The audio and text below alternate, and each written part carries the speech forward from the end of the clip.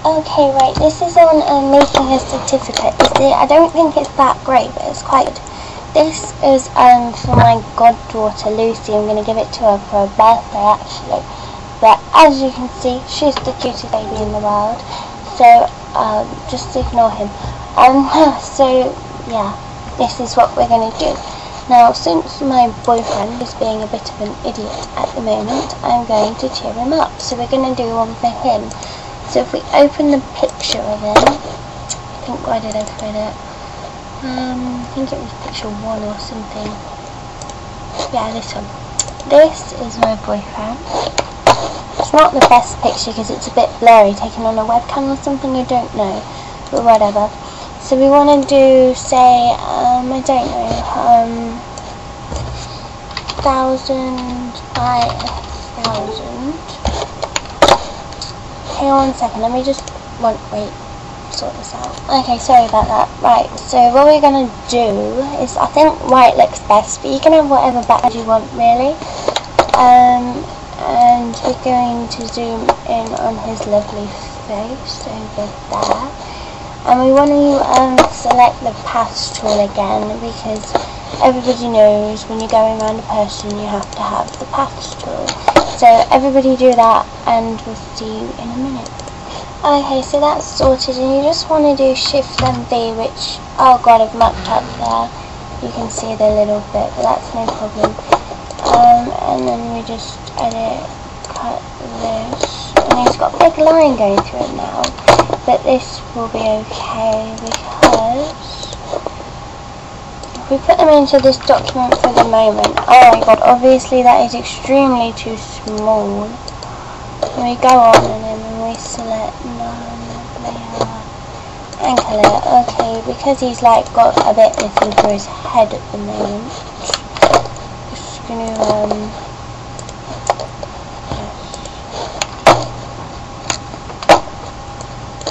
switch it over. We go. I'll do that. Just wait one second. Okay, so I've decided that's better. So you just want to select that and then cut it off. Oh god, what's going on here? Um, hmm. What we'll do is we'll put um, transparency layer on and then just select all of that junk and get rid of that. Right. And then select, invert, edit, cut.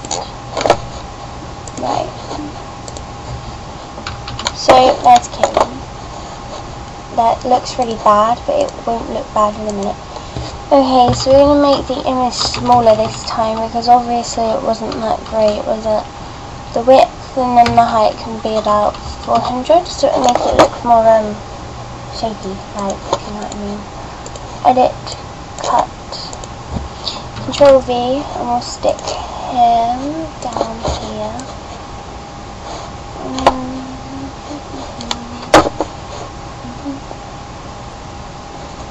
There we go, layer, anchor layers. And because it's a bit kind of um, solid, you can do this thing with the sparks and just like um, blur it out a little bit. I don't really know if this is going to do anything for all pictures. It looks okay-ish sometimes. Um, and then it's really easy from here on because you just pick a text um, if you want backgrounds, you can get these really cool brushes off um, DeviantArt, which I like a lot. But we're going to do kisses backgrounds, because kisses are great. Um, we'll have them in red. And we don't want the opacity up so much, so we just um, do it in some sort of pattern it's not that great. Then here.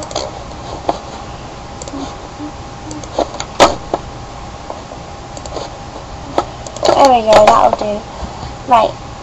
And then we want to go back to text. And we'll do it in black. Now we'll do it in this text because I've already said how much I like this one. And we'll do the Auroric close. And then I like doing this um, backdrop thing on it. So if you go to filters, light and shadow, and then drop shadow, I think that looks better. Select mm, layer. right and we'll go on to text again and we want to make this one a bit smaller because we're going to put for the best no not that one because we're going to put for the best boyfriends ever. So obviously that needs to be a lot smaller. we want to move this over. For the best boyfriend ever, filters, repeat drop shadow. Back to text goes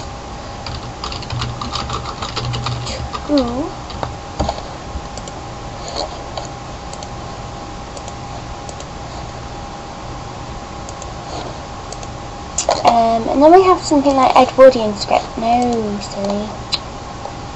We have something like Edwardian script for the name. I just think it looks better for some reason. Don't know why, it just does. Where is it? Edwardian script. Karen we want that to be a lot bigger.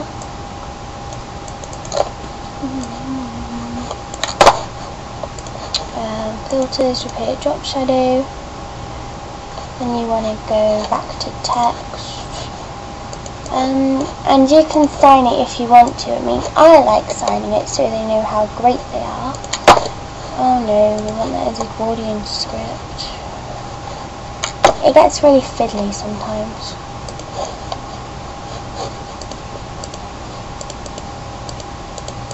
Right.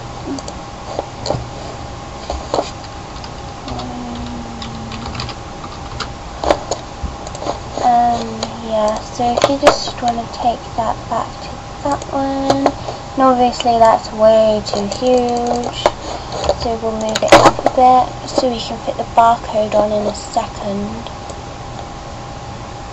And then filters, repeat drop shadow. Um, back to text. Oh god, get this off. This is just some people trying to get onto my internet. So if you go back onto that, um, you want something that looks like you've actually wrote it. And there's not many that you can do that with, but I'm just going to use this one here. And we're going to put my name. Okay. And where'd it go? French script. There we go, that'll do. And we want to move this over. Now I don't like the drop shadow on that one actually. So we're going to just put that there. And then this really kind of amazing thing that I've worked out is that what I've said before, I'll give you um, a link if I can find it, but you can do barcodes with a barcode font. So just put some random numbers in there and then go back onto the um, barcode there you go. Um, make it bigger, obviously. More numbers on that. That'll do. And then you move this over and up. Will be better somewhere in the corner, I don't know, but that'll do. And then with layers, you want to merge them all down which could take a while since of all the drop shadows. Every time you do a drop shadow, it adds another layer, which is really, really annoying.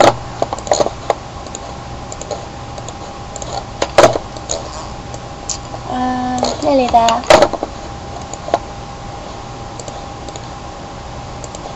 And there we have it. Let's see what he thinks of it. So if we save it into my pictures, only save it as a PNG file. And we save that. Save.